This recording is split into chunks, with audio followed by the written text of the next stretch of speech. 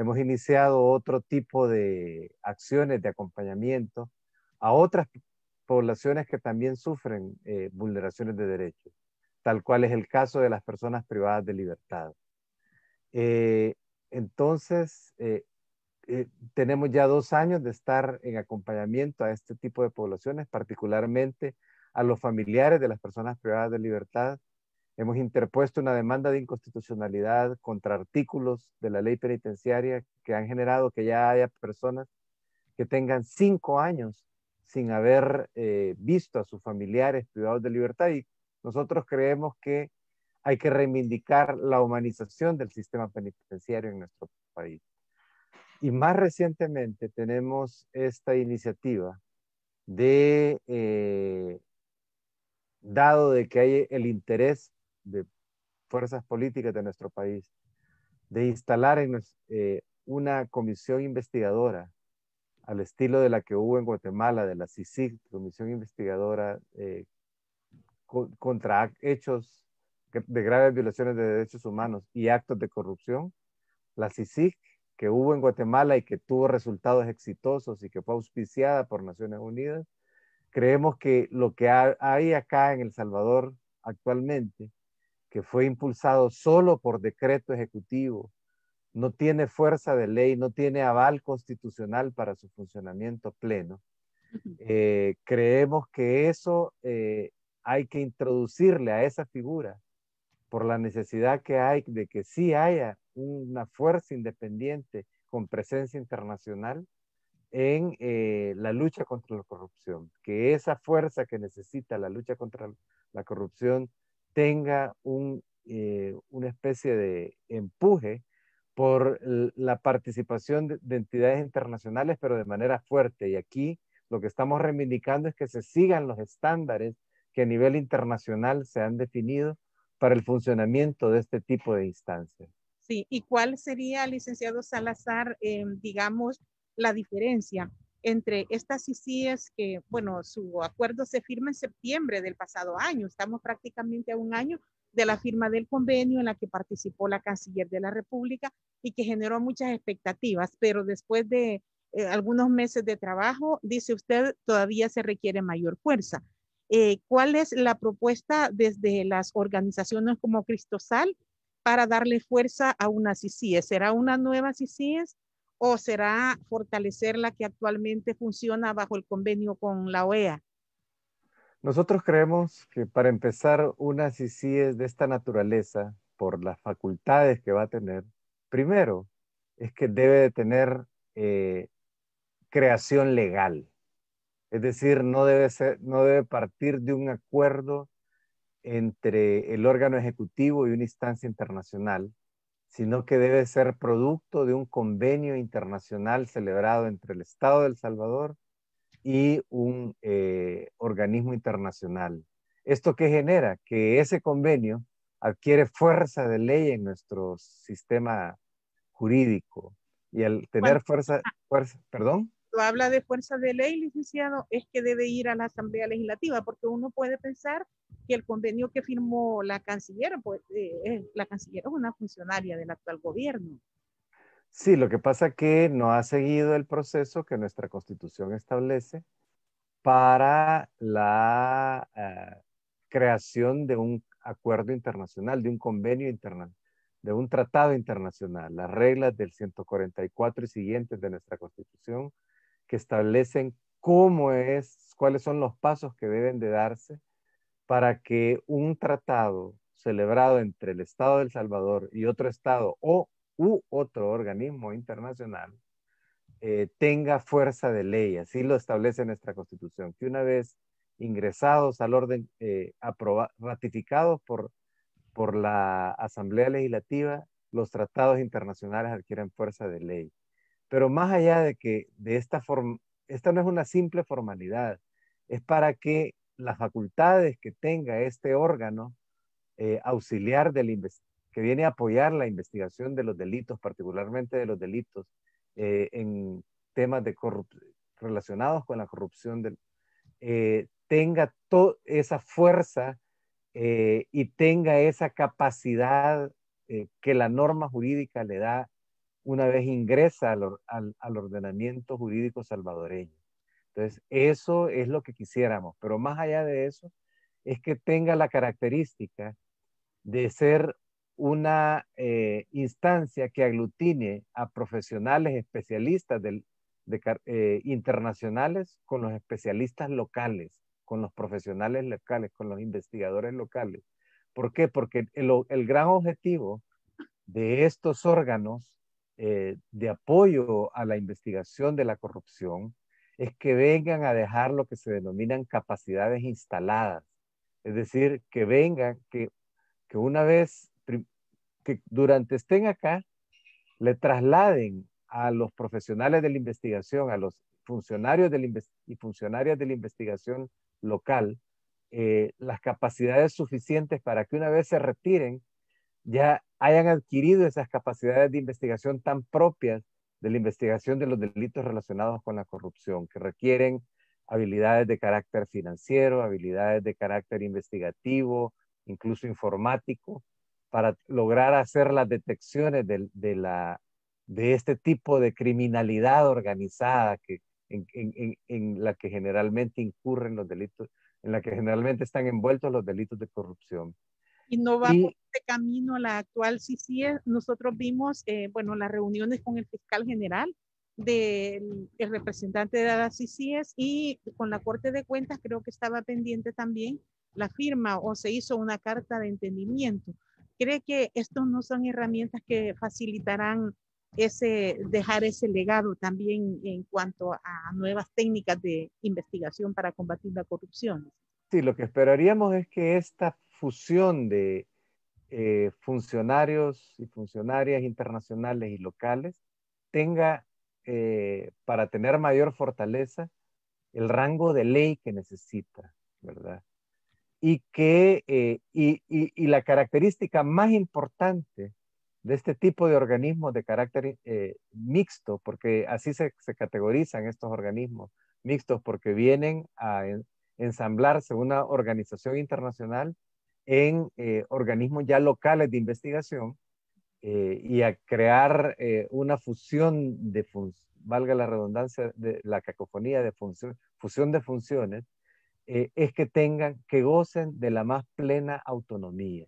Lamentablemente, al crear, al, al haber sido el producto de un acuerdo solo entre un órgano del Estado salvadoreño y un organismo internacional, lo que genera, y como hemos visto en la práctica, una dependencia extrema del órgano ejecutivo. Su, su financiamiento, sus líneas de acción están en, si bien es cierto, ya comenzaron a hacer enlaces con otros entes del Estado salvadoreño, como la Corte de Cuentas y la Fiscalía General de la República, sus lineamientos están derivados directamente del órgano ejecutivo. Ahí es donde ha habido una pérdida de autonomía, de independencia, que es lo que es la característica más singular de este tipo de, organismos, porque eso le permite un actuar eh, desligado de los lineamientos del órgano ejecutivo, cuyos intereses son, eh, por naturaleza, eh, intereses puntuales, intereses temporales de lo que está sucediendo y no le permiten ese funcionar histórico eh, con el histórico del, y, con lo estructural de la que, que involucra el tema de la corrupción. Vamos a ir a una pausa, licenciado Salazar. Es el abogado Luis Salazar, es miembro de Cristosal y responsable del programa de acompañamiento a víctimas. Nos explica sobre esta iniciativa que promueven junto a otras organizaciones buscando una CICIES con mayor autonomía, con mayor fuerza Vamos a volver para que nos analice el licenciado Salazar, porque en Guatemala eh, esta autonomía como que al final se desbordó y vemos los problemas. Una eh, ex fiscal de Guatemala que debió huir porque le abrieron un proceso. Vamos a regresar, son las 7 de la mañana con 20 minutos, es 15 de septiembre, se desarrollan los actos dedicados a la independencia, tienen lugar en la Plaza Libertad, es una de las actividades de la agenda de hoy, encabezada por el alcalde Ernesto Mason. Otra actividad a las 8 de la mañana, entonación del himno nacional completo, transmitido por Radio Cadena YSKL con la organización eh, Azul y Blanco y a las 10 de la mañana, cadena nacional, acto oficial desde la presidencia de la República. Es nuestra programación en el Día de la Independencia, son las 7:21 minutos. Siempre vamos en busca de la verdad, busca de la verdad, para que usted forme su punto de vista. Soy el tamal de hace rato. Pensé que era tu favorito, pero no. Para ti solo soy el antojito. Por eso haré que te arrepientas. Si el tamal cada vez está peor, toma Alka-Seltzer. Rápido alivio de acidez, agruras, indigestión y dolor de cabeza. Con Alka-Seltzer disfruta tus momentos. Es Bayer. Si los síntomas persisten, consulte a su médico. Lea cuidadosamente indicaciones del empaque. En estos momentos difíciles, en Acomi DRL queremos darte una mano. Por ello, presentamos nuestro crédito sin codeudor. Si trabajas como empleado de gobierno, puedes solicitar hasta 5 mil dólares para solventar tus necesidades financieras con una tasa competitiva. ¿Qué esperas? Comunícate con nosotros al 2645-9100 o escríbenos en Facebook y pregunta por los requisitos. Acomi DRL es por ti, es por todos. Restricciones aplican radioyskl.com. Encuentro todas las noticias. radioyskl.com. Escucho la radio en línea. radioyskl.com. Escucho los podcasts de mis programas favoritos. radioyskl.com. Escucho los partidos y el resultado de mi equipo. 64 años comprometidos con informar. Envíe y reciba sus encomiendas por Hernández Express. Lleve sus encomiendas a Washington, Maryland, Virginia y todos los Estados Unidos o envíe a El Salvador. Además, traemos todos sus productos que compre en línea. Envíe sus encomiendas por Hernández Express. Salimos todos los jueves y regresamos todos los lunes. Llámenos en Estados Unidos al 202-483-4428 y en El Salvador 7888-0796. Búsquenos en Facebook como Hernández Express. Miguel, Miguel, Miguel. Ay, tan silenciosa. Así como los síntomas de hormigueo y pinchazos. ¿Cómo así? ¿De qué son esos síntomas? El hormigueo en los pies o pinchazos en los dedos son síntomas de deficiencia de vitamina B. Con Neurobión y su óptima combinación de vitamina B es posible fortalecer tu sistema nervioso y olvidarte de estas molestias. En caso de duda, consulte a su médico farmacéutico. Antes de utilizar este medicamento, debe de leer detenidamente el prospecto incluido dentro del producto. Estimado caficultor, ¿le gustaría tener un cafetal sano y productivo? Singenta lo apoya con el fungicida Amistar Extra, que con sus dos ingredientes activos previene y controla la roya y otras enfermedades de su café. Recuerde, use siempre Amistar Extra para un cafetal sano y productivo. Singenta, traemos el potencial de las plantas a la vida. Musum, el café que te acompaña en cualquier momento del día y que se ajusta a tu bolsillo. Musum, el secreto es el humito. Porque mi tiempo es importante, con la app de móvil puedo hacer mis operaciones financieras cómodamente desde donde esté, en cualquier momento y hasta cuando estoy fuera del país. Solo descarga la app de móvil, sigue los pasos y realiza fácilmente pagos en línea, transferencias Encuentra puntos de atención y las mejores promociones hasta donde quieras. Sistema de Crédito. Queremos darte una mano. Este dolor no acaba, tengo las piernas bien hinchadas y mi espalda engarrotada. Alivianos con Alib, alivianos con Alib. Alib es Bayer. Si los síntomas persisten, consulte a su médico. Lea cuidadosamente indicaciones del empaque. Ya casi se juega el especial del billetero. Participa. Podrías convertirte en el gran ganador de un primer premio de 180 mil dólares. Compra ya tu pedacito, prueba tu suerte y apoya a tu billetero favorito. Es momento que volvamos a jugar lotería. Lotería Nacional de Beneficencia. Hoy es momento de unirnos para cuidar el lugar que todos queremos nuestro país, donde creciste y hoy lo hacen tus hijos, tu patria, donde siembras tu esperanza de un mejor mañana, tu hogar, el lugar que sin importar dónde estás, siempre llevas en el corazón. El Salvador, la tierra de super selectos, tu super. Ya está en Tigo, el nuevo Volt T5 con pantalla de 5 pulgadas a tan solo 44.99. Modelo exclusivo de Tigo. Cómpralo ya, Tigo. En este mes queremos reconocer el patriotismo del salvadoreño, aplaudir a quien siempre ayuda a su prójimo, enaltecer al que se levanta con fe motivar a quien con ingenio traza un nuevo rumbo en su vida, pero sobre todo agradecer a los miles de salvadoreños que llevan la llama de El Salvador en sus corazones y que se han comprometido una vez más a sacar adelante a nuestro país. Feliz mes de independencia. Tropigas, la llama de El Salvador. Soy el tamal de hace rato. Pensé que era tu favorito, pero no. Para ti solo soy el antojito. Por eso haré que te arrepientas. Si el tamal cada vez está peor, toma Alka-Seltzer. Rápido alivio de acidez, agruras, indigestión y dolor de cabeza. Con Alka-Seltzer disfruta tus momentos. Es Bayer. Si los síntomas persisten, consulte a su médico. Lea cuidadosamente indicaciones del empaque. Nuestro país debe seguir la reapertura. Los centros comerciales y restaurantes están abiertos, pero tenemos que cerrarle el paso al coronavirus. Por eso debe salir de casa solo si realmente es necesario y seguir siempre las medidas. Mantén dos metros de distancia en los pasillos, filas y de mesa a mesa. Cubre siempre nariz y boca con mascarilla y quítatela solo para comer. No compartas comida ni utensilios con nadie y solo comparte mesa con personas de tu clúster. Paga el monto exacto o con tarjeta para no tocar más dinero.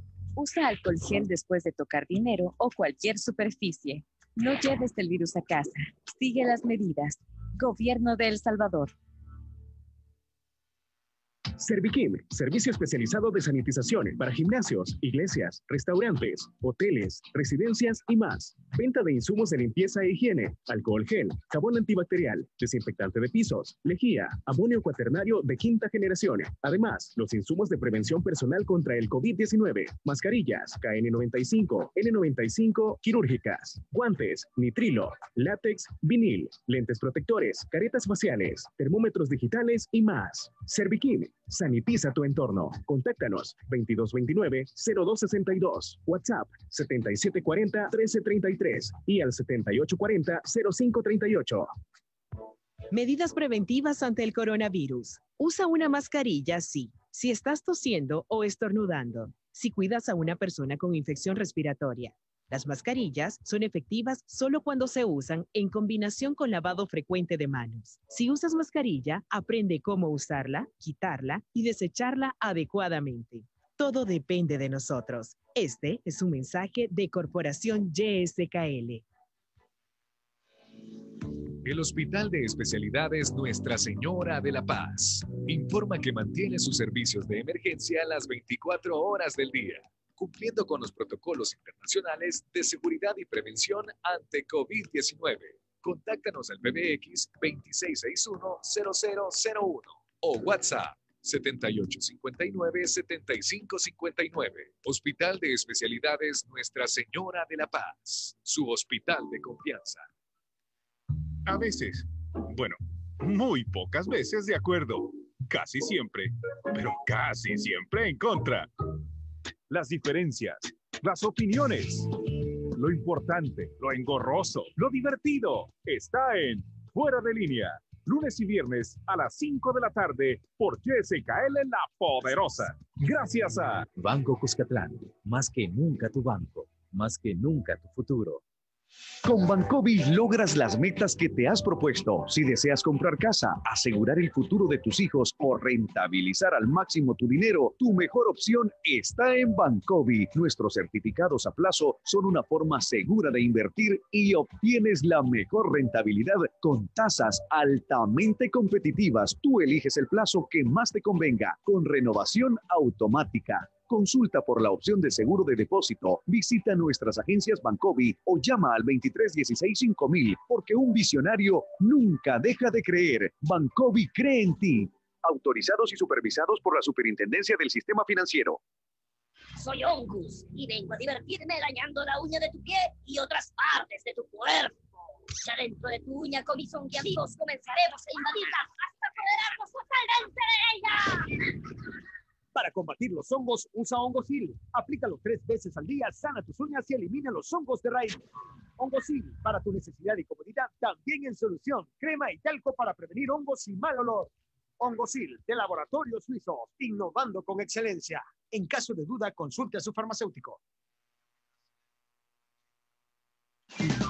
Gracias por estar en sintonía de YSKL. YSKL, la radio que usted cariñosamente llama La Poderosa. Siempre vamos en busca de la verdad, busca de la verdad, para que usted forme su punto de vista. 31 minutos, 7:31 minutos. Estamos en punto de vista con el abogado Luis Salazar del programa de acompañamiento a víctimas de la organización Cristosal. Eh, eh, hablamos hoy sobre estas propuestas para avanzar en un mayor fortalecimiento de una comisión internacional contra la impunidad en El Salvador. Tenemos ya en funcionamiento una comisión, licenciado Salazar, y usted decía eh, la autonomía desde un marco jurídico, cómo se administra una autonomía eh, que no vaya a, digamos, a llegar a un límite de una ruptura de soberanía también y de funcionamiento de instituciones como la Fiscalía, licenciado Salazar. Cómo no, mire, vía, eh, vía ley se le pueden dar funciones legales eh, a un organismo de este, de este carácter por ejemplo, dándole capacidad procesal, capacidad investigativa. ¿Y tanto eh, así, capacidad procesal? Sí, es posible. Eh, siempre y cuando se haga, como usted bien lo dice, respetando los límites de la soberanía. Y, pero es imposible. De lo que se trata es de lo siguiente, de romper las barreras que genera la corrupción. La corrupción, cuando la, cuando está acompañada, generalmente eh, procede de actores de poder que tienen el, suficiente poder para resquebrajar el orden institucional. Lo que, hemos, lo, que queremos es que la institucionalidad actual, que vemos que no, o sea, si se invoca una CICIES, es porque se siente que no se tiene, eh, no se, eh, no se tiene la capacidad con la institucionalidad actual de enfrentar, ¿no? porque no se cuentan con los recursos tecnológicos, porque no se cuenta con los recursos investigativos, pero también porque no se cuenta con la fuerza política suficiente para eh, enfrentar el fenómeno de la corrupción y las redes organizadas que le dan soporte. Entonces, lo que hemos propuesto es una ley que le dé estas habilidades, estas capacidades. Eh, entonces, eh, esas potestades por ejemplo, de tener eh, presencia procesal en, el ámbito judicial, que tenga autonomía en la investigación, que, pueda realizar investigaciones sin depender de otras instituciones públicas. O sea, no es malo que participen. De hecho, está previsto que eh, en los estándares internacionales que haya conjugación con, con las instituciones nacionales, porque a eso se viene a fortalecer capacidades de los actores nacionales, de las instituciones nacionales. Pero eh, debe, en la experiencia de Guatemala, que usted señalaba, eh, lo que vimos es que su gran, pudo haber tenido los errores que, que se le puedan haber señalado, pero si algo no, es que fue una de las experiencias más exitosas que hubo, que logró destapar redes de corrupción, y eso lo logró porque tenía la autonomía suficiente y porque llegado el momento cuando tenía que actuar la parte fiscal, pues precisamente la parte fiscal eh, eh, tuvo el soporte político institucional de este ente que tiene ese carácter mixto de ser eh, en parte un organismo internacional, pero también con asentamiento local. ¿A, quién, a, qué instancias han presentado la propuesta ustedes, licenciado Salazar? Es una propuesta de ley que se presentó a la Asamblea Legislativa, ¿verdad? Ya hace algunos meses y... ¿No ha eh, avanzado el estudio?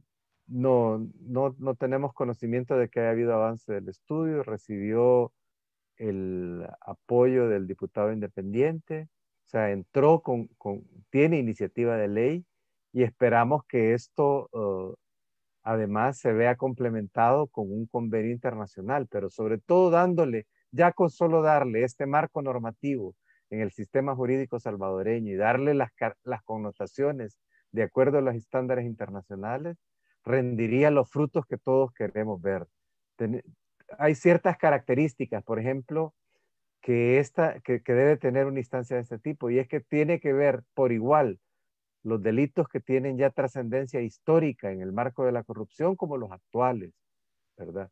O sea, que no tiene que tener limitaciones de tiempo, uno. Dos, es que tiene también que, que tiene que tener eh, esta comisión vínculos con la sociedad civil, que es la que le va a dar el soporte, tanto político como eh, las pistas para, o sea, aquello que todos sabemos dónde está la corrupción, pero son los llamados secretos a voces, es precisamente la sociedad civil quien los puede develar. Esta conjugación de esta, esta entronque de, la, eh, de, unas CICIES con eh, grupos de sociedad civil vinculados a la lucha por la corrupción es crítico y con la población en general.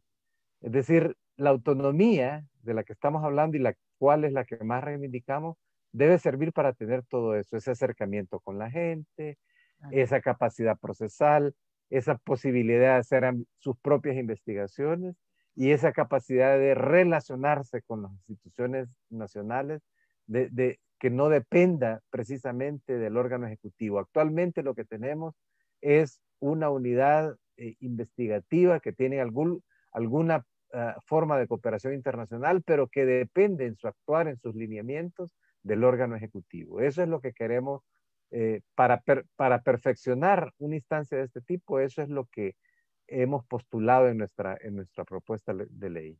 Sí, bueno, eh, quiero conocer también las consideraciones de la Oficina de Acompañamiento a Víctimas de Cristosal sobre el anuncio del presidente de la República para designar a su vicemandatario para promover una reforma constitucional. Eh, ¿Cuáles son las consideraciones que ustedes tienen? ¿Es legítimo eh, hacer una revisión de la ley primaria de nuestro país? Mire, la, constitución, la, la constitución del Salvador, como todas las constituciones, tienen una naturaleza eh, que la hace que tienda a, ser preservada. Es decir, es una ley como la ley fundamental, pero que tiene la característica que para su transformación eh, se requieren mecanismos especiales. Abrir un proceso amplio de, eh, de consulta es lo que se demanda para este tipo de ejercicios ¿Ustedes eh, sí estarían, digamos, en favor de una revisión de la Constitución para hacer reforma bajo una consulta amplia? Mire, lo natural es esto. Eh, hay que ver lo que dice eh, la teoría constitucional al respecto. El poder constituyente es un poder que dimana directamente del pueblo. Cuando se quiere hacer una reforma amplia de la Constitución, bueno, hay, hay dos caminos, ¿verdad? O convocar una asamblea constituyente que no está previsto en nuestra constitución. No hay, ajá, no, habrá. Tuvimos una constituyente, la, la, constitución que tenemos es producto de una constituyente, ¿verdad? Correcto, que nos dio la constitución de 1983, ¿verdad? Pero en la actualidad, dice usted, no hay condiciones. En la actualidad lo que hay es la posibilidad de hacer reformas bajo el procedimiento que la misma constitución establece. Entonces, digamos que el mecanismo podría ser eh, hacer una convocatoria amplia, porque lo primero es que cuando es necesario reformar la constitución, cuando han habido tales transformaciones en la sociedad, cuando ha habido tales eventos, cuando hay una necesidad sentida de que la, la hoja de papel que llamamos constitución se adecue a lo que pasa en la realidad, a cuáles han sido las transformaciones estructurales que ha tenido la sociedad a las cuales esa hoja de papel no se ha adecuado. Entonces lo que procede es, si, ese, si eso es lo que se quiere hacer, hacer una consulta amplia con la, el mayor, la mayor representatividad posible, tanto de fuerzas políticas como de fuerzas sociales. Claro que hay temas que demandan eh, ser regulados por la Constitución, ¿verdad?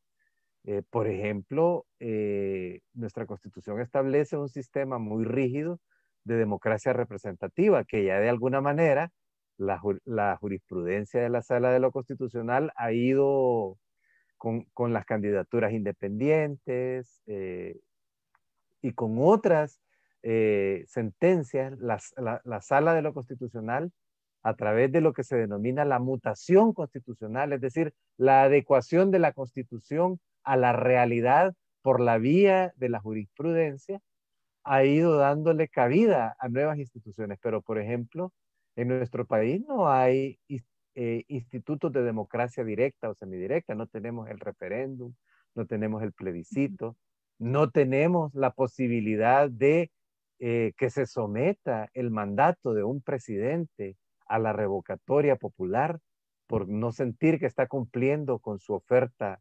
política, ¿verdad? Eso, las revocatorias de mandatos de presidentes son instituciones que podrían caber en nuestro orden constitucional. Pero sobre todo, fortalecer el régimen de derechos sí es muy importante, como lo mencionaba el propio vicepresidente, el derecho al agua, el derecho al medio ambiente. Ahora, son ejercicios que nos parece un poco raro, ¿verdad? Que, que los plantee una presidencia o un, mandato eh, del Ejecutivo, una gestión presidencial que lo que hemos visto es que primero que es muy tendente al rompimiento del orden constitucional, ¿verdad? Eh, el ingreso el 9 de febrero con Fuerzas Armadas al, recinto legislativo, pues no es precisa. Eso técnicamente se llama golpe de palacio, coup, de palés, como dice la, doctrina. pero pero eh, también eh, el ignorar las sentencias que hubo las, eh, de la sala de lo constitucional en épocas de pandemia, transgrediendo derechos y no acatando eh, el mandato de hacer una legislación en conjunto con la Asamblea Legislativa que regulara de mejor manera eh, el manejo de la pandemia, pues lamentablemente vemos que ese interés de darle tener una constitución es como para, mm, eh, o sea, lo que no quisiéramos, ¿verdad? Es que los verdaderos intereses sean, por ejemplo, promover que ya no haya la, promover la, que se deshaga el principio de la alternabilidad en el ejercicio de la presidencia. Lo decía el presidente que no se va a incluir este componente. Bueno, vamos a esperar. Hemos llegado al final de la conversación esta mañana. Licenciado Luis Salazar, un gusto volverle a escuchar y a ver también para seguir el trabajo que ustedes ahora desarrollan a través de Cristosal. Gracias por haber conversado con nosotros. No, gracias a ustedes por el espacio y un saludo a su audiencia y pedirles que eh, estén atentos a las, a las vulneraciones de derechos que Cristosal tiene abierta un espacio en, su página web para eh, las denuncias de violaciones a derechos humanos. Finalizamos nuestro, sí, nuestro programa Punto de Vista de esta mañana, martes 15 de septiembre. Tendremos a las 8 horas nuestra transmisión especial y en breve información a través de la poderosa KL.